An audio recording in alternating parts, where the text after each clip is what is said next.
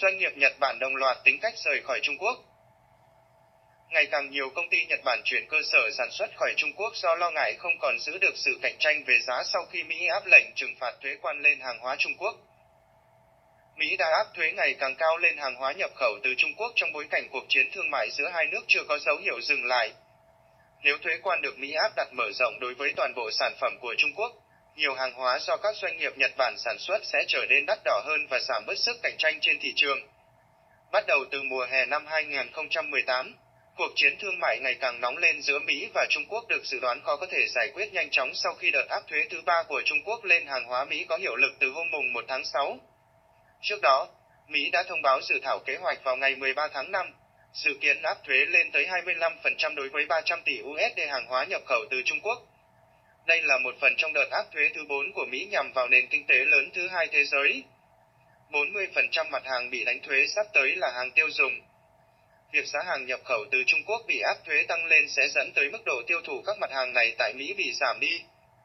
Nếu kế hoạch áp thuế của Mỹ được thực thi, nhiều người lo ngại động thái này sẽ gây ra tác động trên quy mô lớn chưa từng có. Ngoài điện thoại di động và máy tính bảng, các mặt hàng bị nhắm mục tiêu đánh thuế còn có thiết bị chơi game, đồng hồ đeo tay và quần áo được sản xuất hàng loạt bởi các công ty Nhật Bản tại Trung Quốc. Theo sở Chatham, để ứng phó với bối cảnh mới, ngày càng nhiều công ty Nhật Bản tìm cách chuyển các cơ sở sản xuất từ Trung Quốc sang các nước Đông Nam Á và một số nước khác. Làn sóng công ty rời khỏi Trung Quốc Công ty Casio Computer đã bắt đầu xúc tiến kế hoạch chuyển dây chuyền sản xuất đồng hồ, bao gồm át chủ bài là đồng hồ đeo tay G,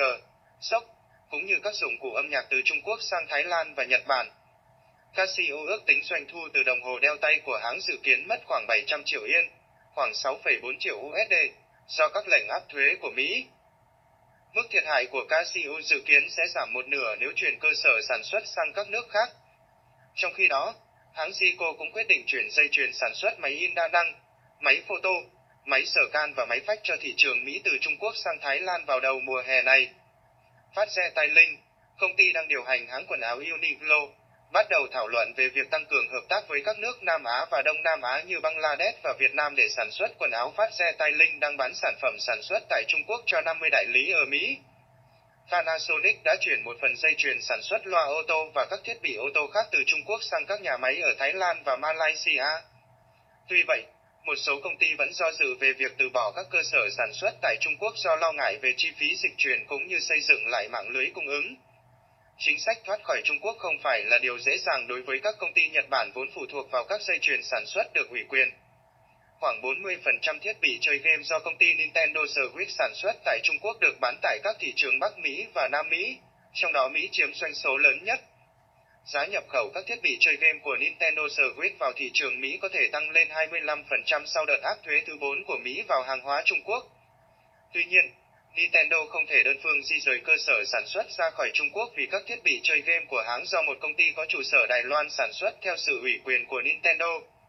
Trong khi đó, Công ty Kyocera cũng đang nghiên cứu khả năng chuyển một phần dây chuyền sản xuất máy in đa chức năng từ Trung Quốc sang Việt Nam. Tuy nhiên, Kyocera chỉ sản xuất một số lượng mẫu máy in hạn chế tại quốc gia Đông Nam Á. Không dễ để di rời dây chuyền sản xuất, một nguồn thân cận với Kyocera cho biết. Nhu cầu sử dụng các linh kiện do các công ty Nhật Bản sản xuất trong các sản phẩm của Trung Quốc cũng sẽ giảm sút do cuộc chiến thương mại kéo dài. Theo ước tính của nhà kinh tế học Hunsuke Kobayashi tại Viện Nghiên cứu Daewoo, Doanh thu xuất khẩu của Nhật Bản sẽ giảm 1,3 nghìn tỷ yên nếu đợt áp thuế thứ 4 của Mỹ vào hàng hóa Trung Quốc có hiệu lực. Trong một diễn biến có liên quan, Thứ trưởng phụ trách các vấn đề nông nghiệp và nông thôn Trung Quốc Han Jun cảnh báo nông dân Mỹ sẽ không thể chống chọi được nếu mất thị trường Mỹ, nhưng nông dân Trung Quốc vẫn đủ khả năng chịu được tác động từ lệnh áp thuế của Washington. Nếu Mỹ không dỡ bỏ toàn bộ thuế quan bổ sung áp đặt lên hàng hóa Trung Quốc, thương mại nông nghiệp song phương, bao gồm mua bán đậu nành, sẽ không bao giờ trở lại quỹ đạo bình thường. Nếu Mỹ mất đi thị trường Trung Quốc, sẽ rất khó để Mỹ giành lại được, ông Han Jun tuyên bố. Thành đạt Tổng hợp